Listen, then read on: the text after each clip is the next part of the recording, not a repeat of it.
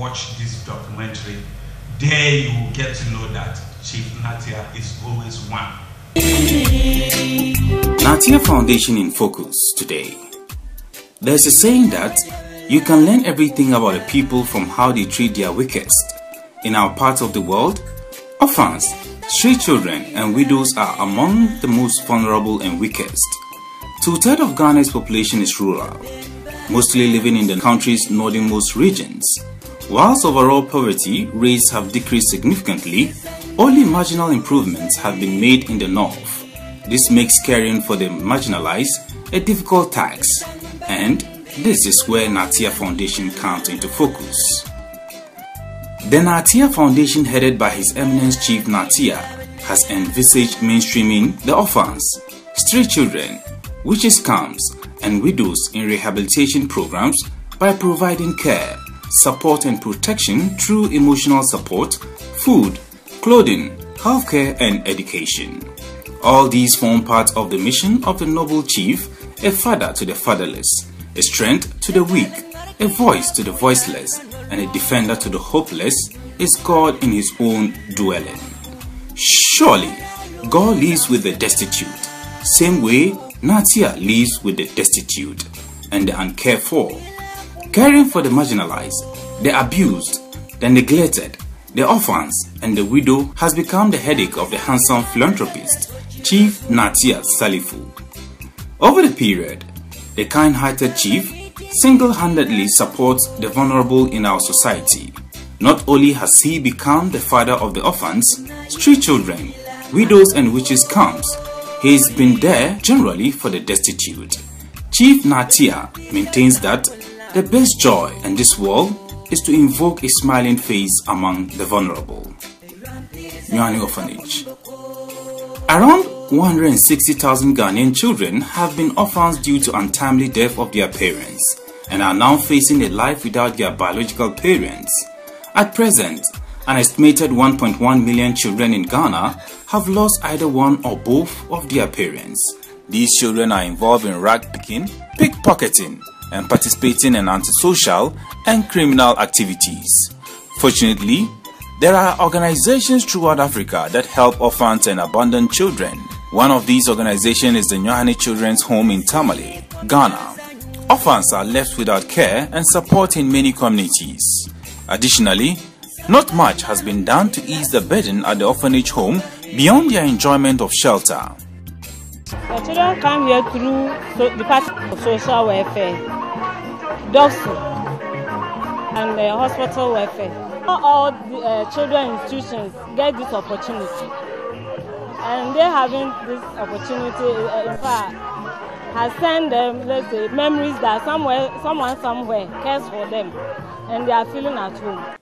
Natia Foundation frequently visit this orphanage to donate foodstuff, clothing, and money for the upkeep of these orphans. Better to do it there because we all know that the children they don't have parents, and uh, today is a happy day for all Muslims in Ghana. So I decided to come and share my happiness with the children here. I want the children to uh, go to school. You understand? So uh, because of this, I'm been I'm yet to sponsor a program on radio stations, which will be bringing more teachers to talk about education and uh, how the children could go to school and learn very well to become people in future. Widows Association not only has the benevolent young chief supported the orphanage, he's been there for the Widows Association. Widows in Africa have often been faced with traumatic experience in African communities at the instance of losing their husbands which is occasioned by death. The inhuman treatment meted on the widows varies from one culture to the other. Most of the treatments are geared towards dehumanizing their victims, which is always a painful and psychological experience that can affect the individual throughout her life. The maltreatment of widows is wide-ranging.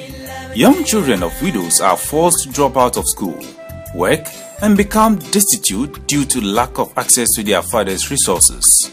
Naatia Foundation has been there for the widows too.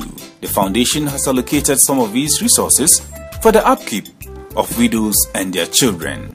Our chief Nati who have come to do us a great honor to present to us this honorable gifts, rice, maize, etc. Even financially for our school, the, the orphans to go to school, food for the widows, for the children, etc.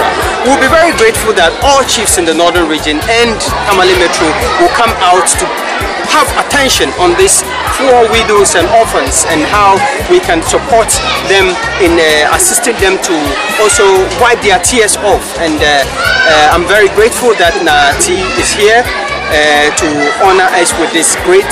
His visit alone is an, is an honor and the gift is a plus.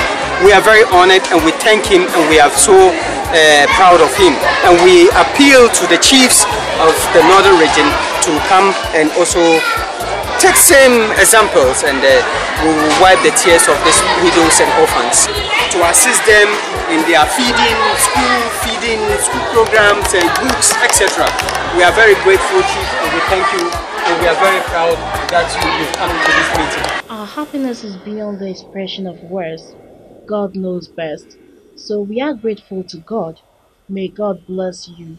We pray that someday others will also come the same way you did and do even more good unto us. Some of us don't even have a place of our own.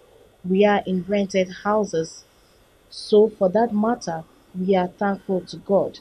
May God provide more for you to take care of us. We have nothing to do unless God. We are grateful to you. Ever since we started, nobody have ever catered for us with this much care and affection. Your coming is a blessing to us. We, together with the orphans, are grateful. More grace to your elbow. May God richly bless you. We pray that your next coming will welcome you with much more excitement than this because we have nobody to care for us like you are doing. Although you are not the only great one in the north, and we really appreciate your efforts. God richly bless you. Witches Camp A witch camp is a settlement where women suspected of being witches can flee for safety. Usually, in order to avoid being lynched by neighbors. Witch camps exist solely in Ghana, where there are at least six of them, housing a total of around 1,000 women. Such camps can be found at Bonyasi, Gambaga, Gnani, Kpatinga, Kukuo, and Naboli, all in northern Ghana. Some of the camps are thought to have been set up over 100 years ago. Many women in such camps are widows, and it is thought that relatives accuse them of witchcraft in order to take control of their husband's possessions. Many women also are mentally ill, a little understood problem in Ghana.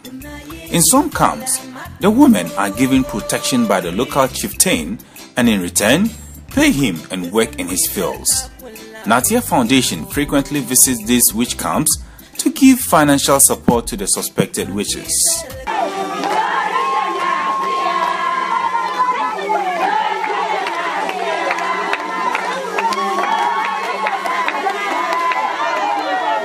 Gushegu Building Did I forget to acknowledge the lending of hand to the school project?